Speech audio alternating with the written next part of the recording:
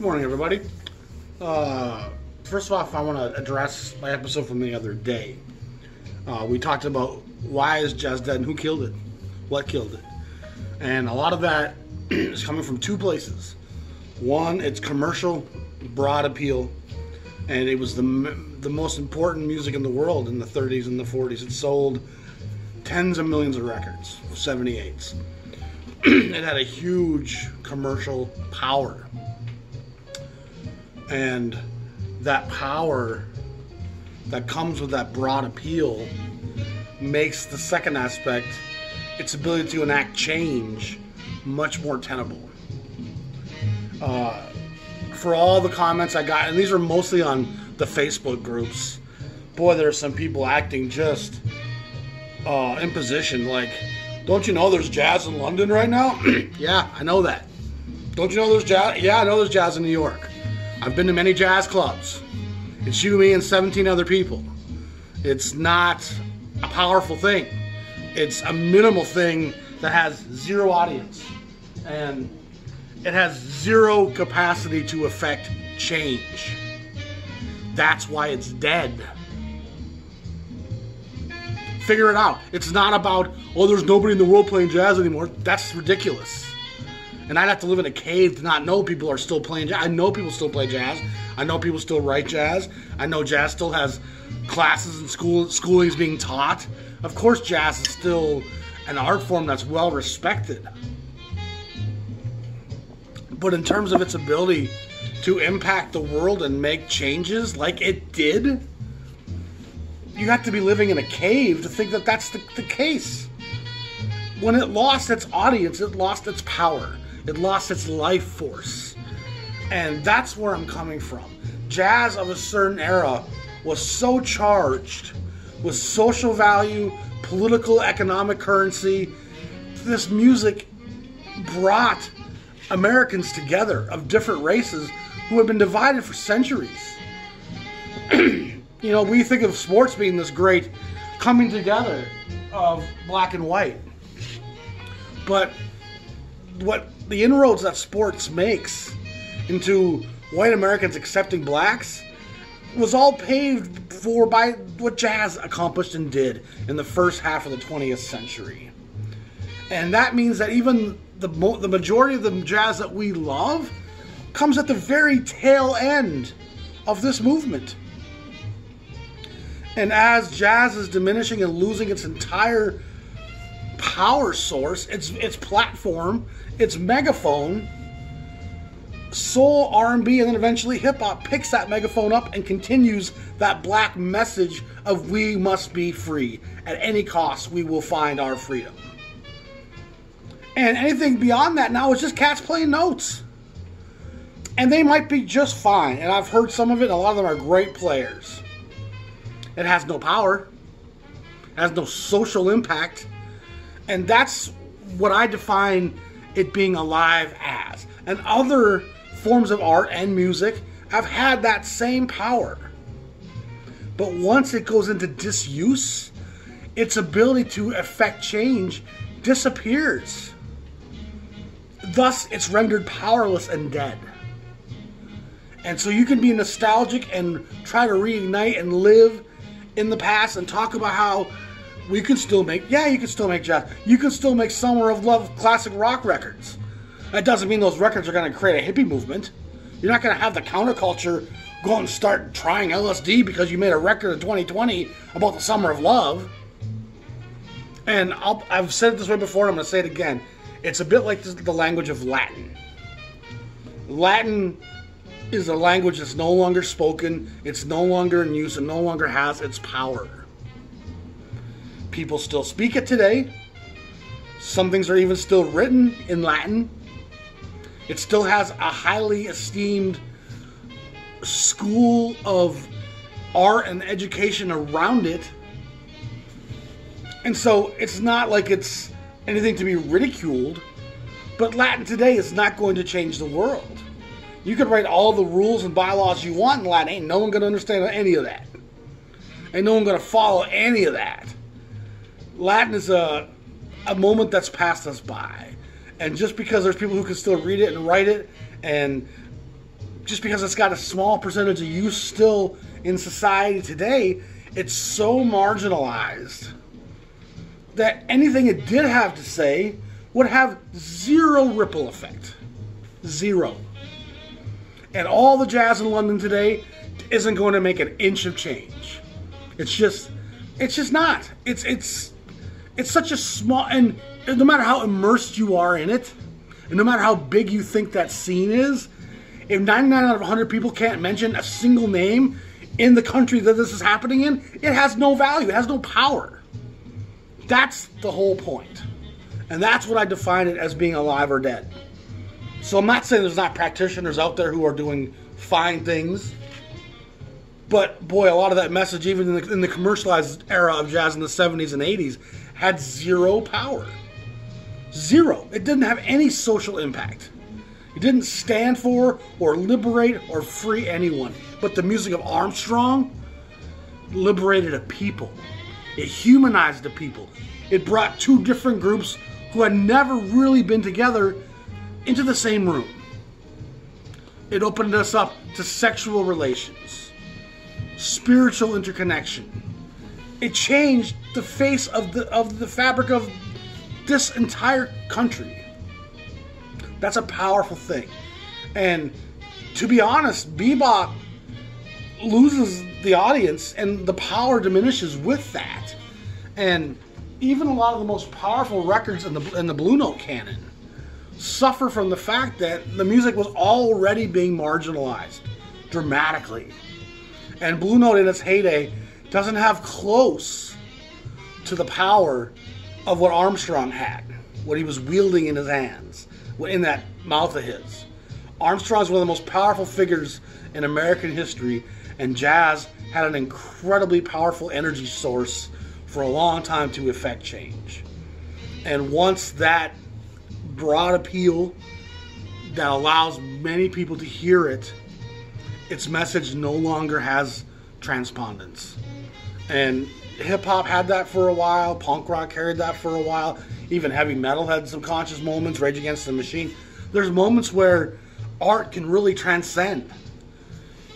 uh, it's again, so it's not saying that there's not jazz out there today being made. Of course there is. It's a highly respected art form that many people are doing fine impressions of. I don't think they're really stretching the fabric anymore in the present. It's pretty much just rehashing what's already been done. There's not much you can do with a trumpet or a saxophone that these great men hadn't already done. But none of what they did was for the sake of ego or to show how great I am. It was about freedom. It was about human, humanizing myself, making you see my ability, making you see my humanity. I drank the old coffee cup. Not the most pleasant thing in the world. I'd rather have my fresher, warmer coffee. Thank you very much. And so, all you people on Facebook who get so offended, and my favorites are the ones who like, I'm not even gonna watch this, but it's just a bunch of non. Go fuck yourself, man. If you ain't gonna watch it, don't comment. Who the fuck are you to make an egotistical comment on something you didn't even bother to watch? Most of that episode was about praising Louis Jordan and showing how the power of jazz transitions into that R&B soul movement. That the power didn't die. It just moved into a different vehicle and powered itself through the 50s and 60s into the 70s and then it transitions again into the voice of hip hop. The message of the black people will always be there as long as they're an oppressed people. And there's a harmony and a, a, a simpatico between what Marvin Gaye says and what John Coltrane says and what Chuck D says. It's the same thing. Let my people go. Just like you can't add to the biblical canon today, you could write about it, you can be inspired by it, but you can't add to that canon at this point. That is a finite place and time that where an oppressed people wrote great words of freedom and liberty and justice and morality. And it was the oppression of those people for centuries, if not millennia, that allowed them to tell the rest of us what justice and freedom and honesty and truth should even look like. So again, to those of you who think, oh, jazz ain't dead, it's dead. It has no power, and it's not going to come back. Trust me, it's not going to ever be that powerful force that it was. And, and, and some ways, it, that's a good thing because it means that we've moved further along than where we were in 1925. Uh, we still got a ways to go. You know, we still got a lot of chinks in our armor, but people get so worked up. You know, I'm not slagging anybody who's playing the music today. That's ridiculous. But people, you know, and their egos and their their sense of that, oh, I know so much and you're ridiculous. I'm not even going to watch you and I'm going to say you're ridiculous. I don't even want to know I, I get bothered by that, but it's just watch it before you comment. But anyway, that being said, there's a lot of great guys out there who still play the music, and I've seen a lot of them live. Didn't remember most of their names. Uh, it just doesn't have that soul gut stirring feeling that I get from Marvin Gaye. What's going on? That I get get from Coltrane's Love Supreme. That I get from Sam Cooke. A change is gonna come. That stuff makes my guts stir. I feel the power in it. And if you don't see what I'm talking about, maybe you need to awaken yourself socially to the aspects of what drives great art in the first place. Oppression and tyranny is the fuel that invents and drives great art. And I think there's little exception to that. And art is capable of being made by people who aren't oppressed, but even a lot of those people end up having a, a form of madness, uh, some form of struggle that really art is an outlet for what they can't struggle through the condition of on their own. Art helps them survive. It helps express what they can't say. I'm Gonna move on. One of the great examples to me of the embers of the jazz movement, and one of the guys who really, I think, is filled with soul and guts and spirit and speaking for the black community and is an extension of Armstrong, Hawkins, and Webster and is filled with that love. That love of self, that love of my people, that love of all people. And my intention is to bring us together, not to divide us. But I do want to inform you of my good intentions, of my positivity, of my love. Because I'm hoping once I show you my love for my fellow man, black and white, that you will have more empathy for me and my group. And of course, I'm talking about the great Gene Ammons. And for value for your dollar, Ammons is one of your best bangs for the buck. Uh, Prestige documents a great chunk of his body of work. He does some earlier stuff on Vee-Jay with Benny Green and a few other people. And that album has two different covers, so be careful. Uh, and that's a fine session. Benny Green cooks. And Ammons does some stuff with Stitt over the years. They kind of had these battling things. And a lot of that stuff ended up on the Argo chess label. And there was even some dispute on uh, where a few things were going to go. I'm not going to show you his Argo stuff. I'm not going to show you his Vee-Jay stuff. I'm going to show you his body of work at Prestige. And boy, you can get Gene Ammons records for under $100, original pressings, that are incredible records. Drenched with the blues, drenched with expression, drenched with sincerity. Never an inkling of ego, never even a suspicion of virtuosity for the sake of look at me. It's always with Gene Ammons an expression of my discontent and a, a way of finding and turning that around to try to make things better for me and my people.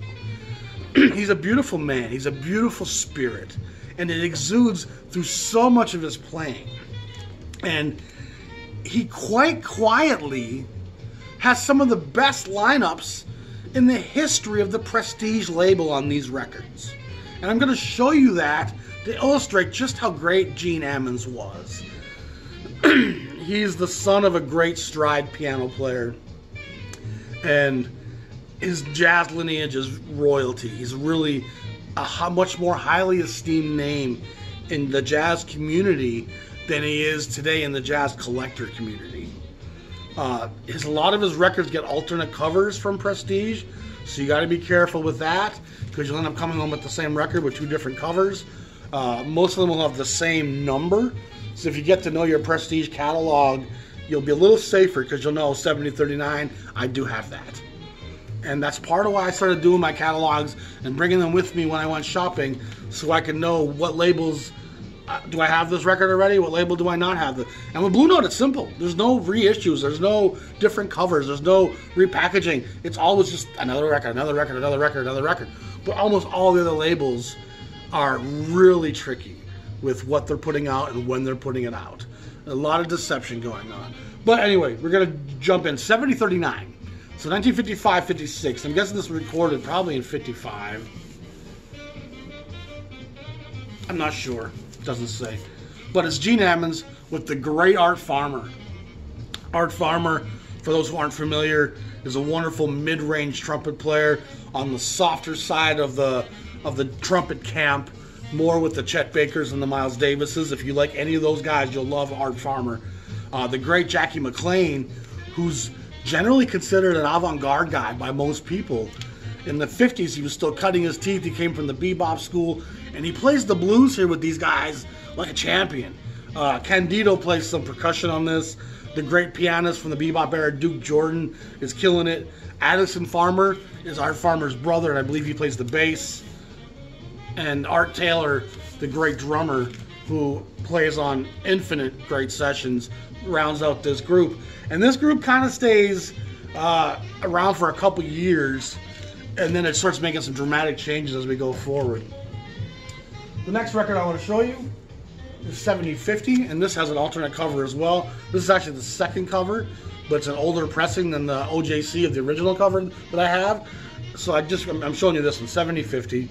Uh, this is Gene Ammons' Battle Sonny Stitt, and some of the stuff goes back to 51, 52, where Duke Jordan, Tommy Potter, and Joe Jones was was Sonny Stitt and Gene Ammons leading the way. Uh, 1950 with Gene Wright, Junior Manson, Wesley Landers, um, Bill Massey, Al Oatkalt, Charlie Bateman, Gene Wright, and Teddy Stewart. And then some of it is also, there's a few tracks that are just the, the regular sextet.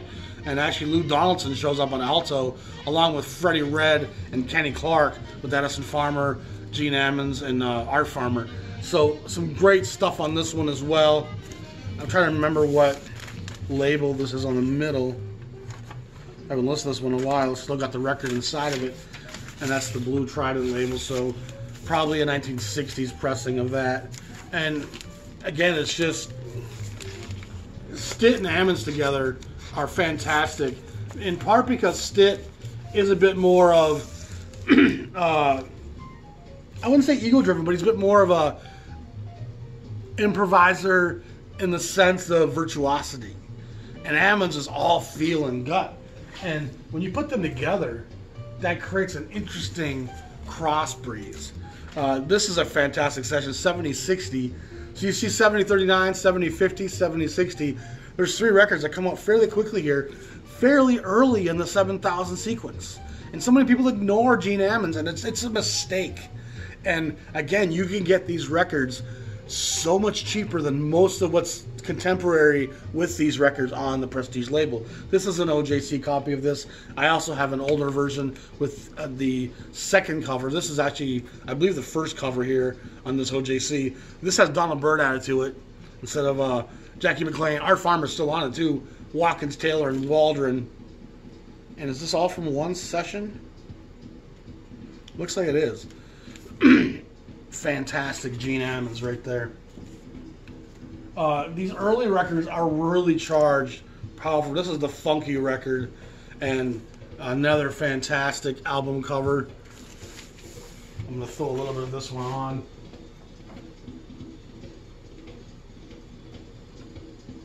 You definitely want to kind of start with the early Ammons 7000 records.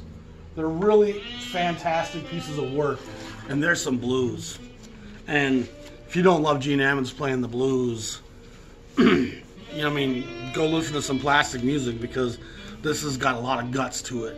Uh, the great Kenny Burrell is added to this one here, along with McLean, Taylor, Waldron, Art Farmer, and then Doug Watkins takes Addison Farmer's place on this session. Uh, looks like it's all from one recording session, probably 1956, 56. That's probably 56. Uh, just beautiful tone, and he comes from the Hawkins Webster Illinois Jacquet School. You know, he's in that lineage. Uh, Stanley Turrentine is kind of a, a progenitor after him of the same blues driven, soul drenched. Uh, this has a bit of a smoky alleyway to it, uh, with a misty rain and black and black and white noir. Uh, there's a fire escape. There's a maiden screaming off in the distance and a cat shrieking. It's just got that beautiful element of moodiness to it that I'm a huge fan of in my jazz. Uh, this is a fun record. Idris Suleiman sits in on this one, along with Kenny Burrell, Art Taylor, Paul Chambers, Mal Waldron, and Jackie McLean. So the lineup's changing slowly here. Uh, Art Taylor's still around, Jackie's still around, Kenny Burrell sticks around, but of course the trumpet player and Mal Waldron's changed, and the bass player's changed again to Paul Chambers. Uh, another cool cover, cool artwork. I think it's all from one session as well. You can see some photos of these young men down here on the bottom. It was just such a dangerous time. The 1950s, the early 60s, to be a black male, it was a dangerous thing. And a lot of these young black men were being exposed to two things in the ghetto. There was a lot of heroin going around, meant to subvert the black neighborhoods, and to make either junkies or criminals out of a large chunk of them. So you could keep subverting them as civil rights was dawning. But there was also a, la- a large, strong Muslim movement. And a lot of jazz cats who were trying to stay clean, were trying to stay away from the pathway of sin, felt the message of Allah and the Muslim faith as a way to keep their purity and their clean their cleanliness. Uh, it's amazing how many of them kind of do convert at one time or another to Art Blakey, of course, uh, is, is another great example. Uh, Yusef Lateef. There's a lot of guys that really said, uh, I feel like I can be stronger in my faith and in myself and survive the dangers of this if I adhere to some of that tradition. And it certainly was, it seemed successful for a lot of them. And I don't think the stigma of being Muslim in those days is quite what it is today. Uh, that's certainly changed nowadays. Here's another great session.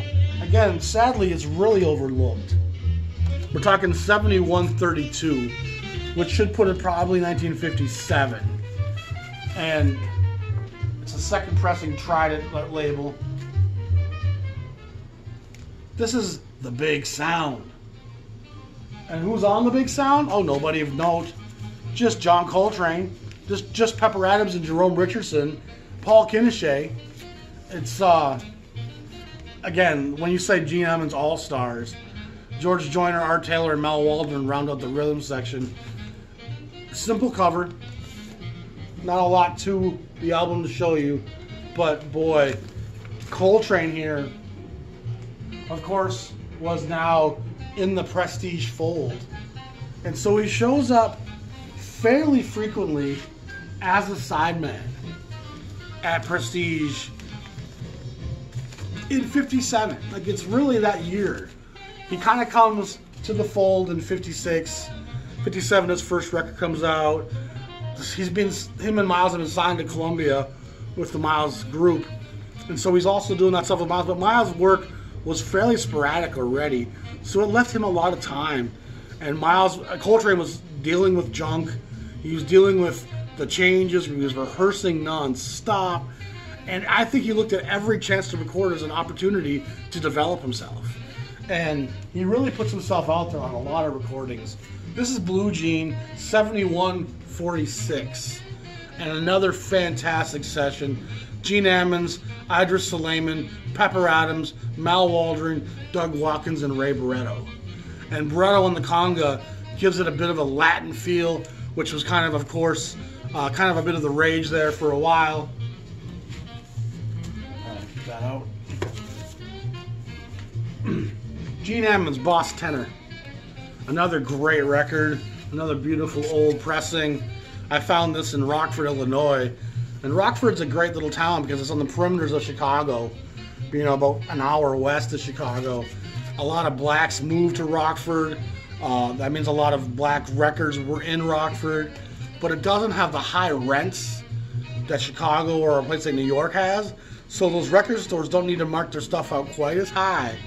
So those midtown, those mid-sized towns that have black populations in the 50s and 60s are sometimes the best place to find jazz records in the wild for a good price. Uh, if you go to a city that didn't have a black population any further west, really, than Rockford or Milwaukee, it becomes pretty tough. And the records just don't exist even here in Minneapolis. You know, there's probably more old jazz and R&B records and 45s in a small town like Rockford than there is in the Twin Cities. You know, old Prestige, old Blue Note, they're just not to be found in Minneapolis, St. Paul. Uh, but you go to a place like Rockford, uh, Madison, Wisconsin, uh, those type of towns, you'll be surprised with Dayton, Ohio. You can find some great stuff there. Uh, again, just a fantastic lineup. This has got Tommy Flanagan on the piano. And Flanagan, for a guy who didn't do a lot as a leader, certainly does a lot as a sideman, just a prolific sideman. And he's one of those guys that his body of work as a leader is small, like a Paul Chambers, but his list of work as a sideman is pages long. And sometimes these guys will later in life make more records as a leader. I know Tommy Flanagan did. Uh, as, as for uh, Chambers, he passes away and he spends most of the 60s working with uh, Wynton Kelly. And so there's not a lot of Paul Chambers led sessions but he's on hundreds of records in the 50s and 60s as a sideman. Uh, again, great cover, great color, intonation, and this is just the blues. And the blues is meant to soothe you. Tell him, Gene.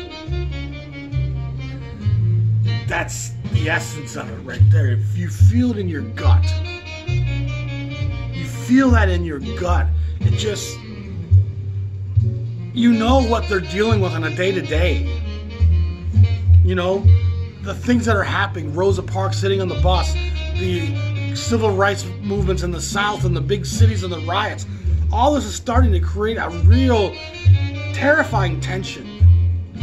And if that's not going to soothe and calm you as a player and as a listener, I don't know how to help you. That's what this music is it's help, it's aid and it's aiding me. And I hope, as a person who's playing it, and I'm talking from Gene Ammons' perspective, it's helping me, and I'm hoping that it's also helping you, the listener. And it's also important to remember that this is validating black interests to many young white listeners. And that continues to happen in R&B. Like I said in that last episode, that power of trying to find unity and express my condition, it moves into the soul singers with vocals that civil rights allows to happen. These guys couldn't necessarily pick up a microphone and say the things Curtis Mayfield and Marvin Gaye said in the 70s. But in the 60s, it starts to happen. In the 50s, you got to say it into a saxophone. But if you don't think the message is the same, why would a black man in the 50s who had tougher times not tell you how he really feels. I think you have to ignore history to not hear what I'm saying. Another fantastic Ammons record. Gene Ammons Jug, 7192. Uh, another fantastic lineup on this one. Richard An- Gene Ammons, sorry, Richard Wyans, Clarence Sleepy Anderson, uh, Doug Watkins, and Ray Barretto. It's kind of a smaller quintet by the sounds of it. One, two, three, yep. And it's a small quintet when you have the conga being one of your members. It's really a quartet with a conga player. Uh, but that conga adds a nice light, effervescent sprightliness. It makes it bouncy and have little off-tempo, off-kilter rhythms that bring life and joy into the song. Uh, and then there's there's Mr. Ammons. Just look at the face, and it's not the face of an angry young man. It's more the hopefulness that what I'm going to do and what I've done and what I'm going to continue to do will make lives better for my descendants. And that's an important thing to a people who live in occupation, to people who live under tyranny. You want to continue making things better. And I think a lot of us forget that. This is another great record, 7201, Gene Ammons and his All Stars. And uh, by 7201, we're probably 1959, 60, I'm thinking. Doesn't list the date here, which they often don't do. Uh, again, listen to the lineup on this one John Coltrane, Jerome Richardson, Pepper Adams, Paul Quinichette, Mal Waldron, George Joyner, and Arthur Taylor. That's pretty serious jazz royalty. And so many collectors today just seem to pass over Gene Ammons. And I'm a little bit mystified by it. You can get an old prestige copy of his records for what's really a steal. We're going to kind of skip through some of these later ones 7208, Gene Ammons Uptight, Walter Bishop, Patti Bown, George Duvivier, Arthur Taylor, Arthur Davis on the bass, and Ray Barretto again on the conga. So Barretto's playing with him quite a lot at this point. Gorgeous. Sonny Stitt and Gene Ammons. This is called the Soul Summit. Soul, Soul Summit. And I think this is from 1962. So again, Ammons and Stitt work all, work off and on together from the early 50s into the late 60s. They're doing these great sessions together.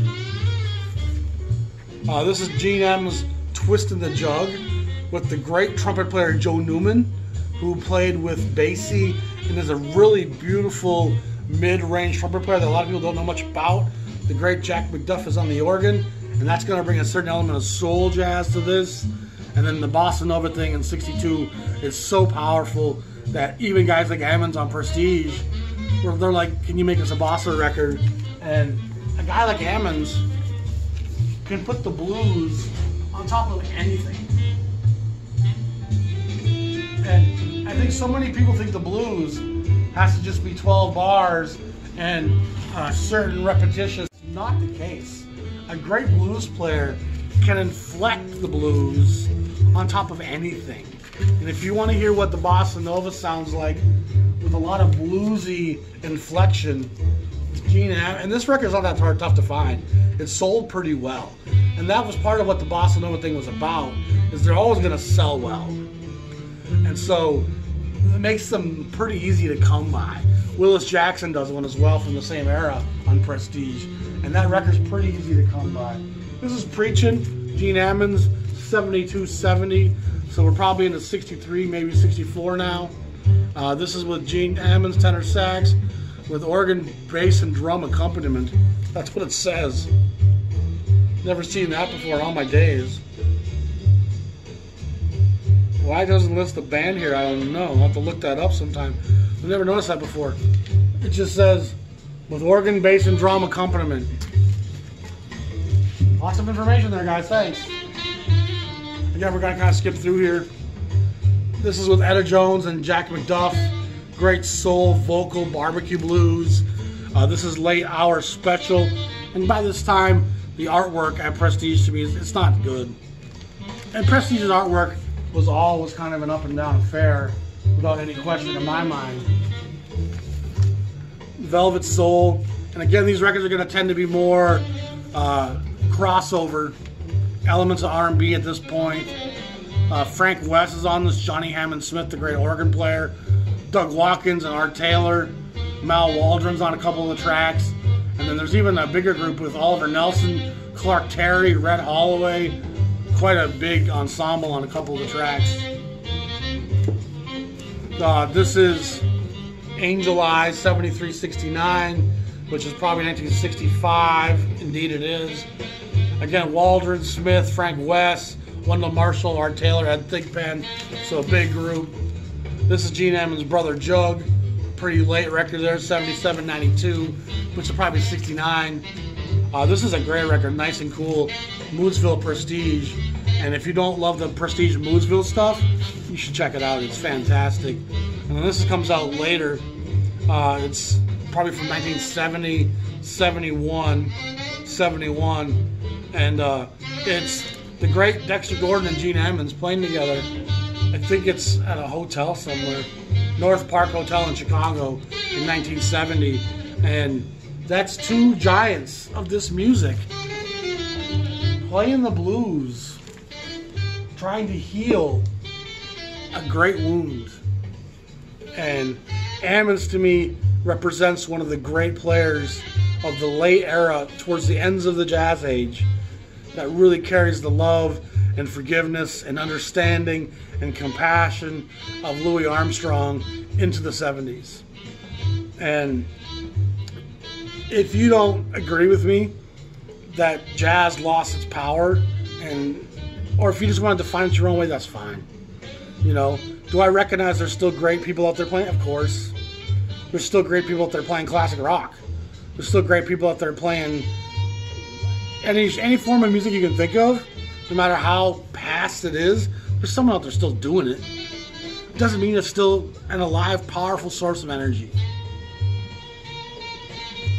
The amount of change that jazz created and the amount of healing that jazz brings makes jazz during that period one of the most powerful and most beautiful art forms in the history of the world. And no matter how great a player is today, they're not connected to that electricity. And it's just impossible. It's just not in the works. And I'll be honest, I don't really know where in music today that power lies. Because most of the music coming out of the black community today, even, has been stripped of any of that message. It's become very commercial, very about uh, selling products to consume, wristwatches and cars and uh, stuff that Marvin Gaye would just be like, "What? What are you talking about? Why are you trying to convince young black kids they need Lamborghinis? You know, why do they? Why do these guys kids have diamonds in their on their teeth and in their ears and diamonds? Like, why are they wasting their time and their money on these things? Especially to make people outside of your community wealthy and to keep you either in debt or a criminal in order to get these things that cost tens of thousands of dollars. It's it's just it makes no sense. It's almost a new form of oppression. And economic debt is a form of oppression. You know, freedom is not being in debt. Freedom is having the liberty to make the choices you want to make. And it's not to say that uh, the slavery of economic debt is the same as the slavery of what the blacks experienced in America, you know, for 300 years. But it's there's still a great new form of slavery out there that's got most people's life chosen path for them. So anyway, Gene Ammons is outstanding. You can get his records for a great price. It's always a record worth picking up when you see his stuff. Don't hesitate. Uh, it's it's some of the shining work of the Prestige label from 55 all the way through 1970. And if you had to compare him to someone at Blue Note, it'd probably be Stanley Turrentine. You know, he's probably in that same uh, blues jazz, soul jazz, uh, pre war swing player small group jazz. There's a lot of stuff by Hawkins and Ben Webster that comes out in the 50s on Verve that doesn't sound too different. Even Hawkins makes bossa nova records at Impulse. You know, so Ammons is definitely a giant that is kind of overlooked a little too much. Check him out. You won't have to spend big bucks on them. A lot of them have OJC reissues, especially the early ones. And those ones that get into the 7200s, 7300s, those records are out there for 10, 20 bucks. They're everywhere because they sold well. And that's again one of the last things I want to touch on is that hard bop sort of had moments where it sold okay. it had moments where it got into jukeboxes, some of those blue note tracks, and it certainly had a black audience again, uh, if ever so briefly. But then the soul jazz movement of the 60s into the 70s, that actually had a fairly decent audience, and a lot of that stuff sold well. A lot of that stuff has a lot of 45 issues for jukeboxes and singles and the radio. So a lot of that soul jazz is kind of the last embers of jazz that actually carried with it that social change and that power. And once we get into the later eras and that, I'm not sure I've really heard a jazz record that has that capacity anymore. And even if it did, the audience wouldn't understand it anymore because it's now being spoken vocally by singers and rappers. So those listening to jazz aren't hearing the message because they don't know how to, how to hear it anymore. And I'll even go so far as to say most listeners today don't know how to hear jazz. They're listening, and they're not feeling. They're listening for incredible virtuosity, incredible arrangements. Listen to how brilliant the composition is and it's just against everything that jazz initially was about. It was about emoting and improvising, so you could feel something, so I could connect with you, and that's what modern music and jazz even just lacks. And that's why a lot of modern listeners don't know how to hear jazz because they don't know how to feel what an artist is saying, especially if there's not words telling them what to feel. It's a bit like when you used to watch silent pictures. We had to kind of deduce and feel our way through what the, the, the, the message was supposed to be.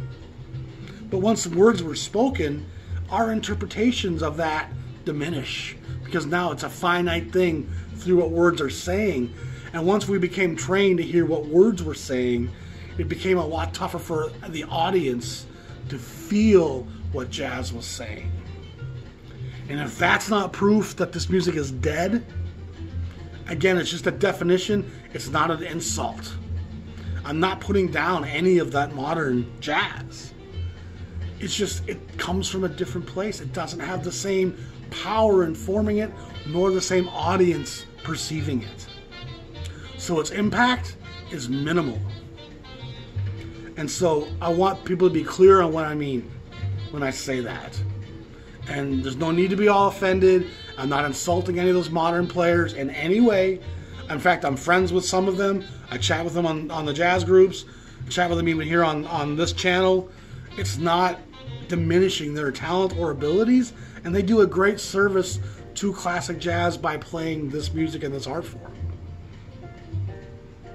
So, peace be with you. Y'all have a great day.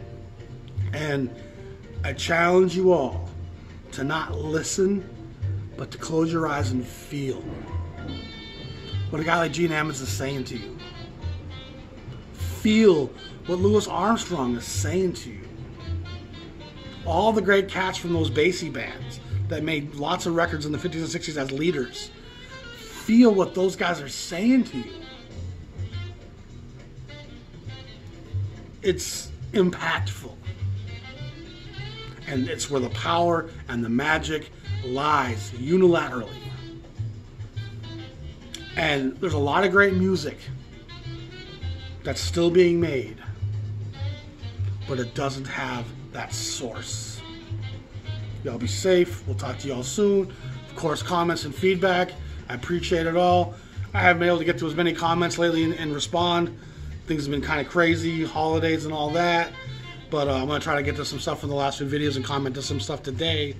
And like I said, that video I did the other day, man, it got a lot of comments on YouTube, on, fa- on Facebook. A lot of the Facebook groups were just livid and some people loved what I had to say and loved the continuation of the black music and the understanding of how it went through Louis Jordan and Ray Charles and all those cats. And other people were just like indignant, like, oh, oh, oh. And then there was, of course, the few who didn't even watch it and were indignant. Watch something else. Peace.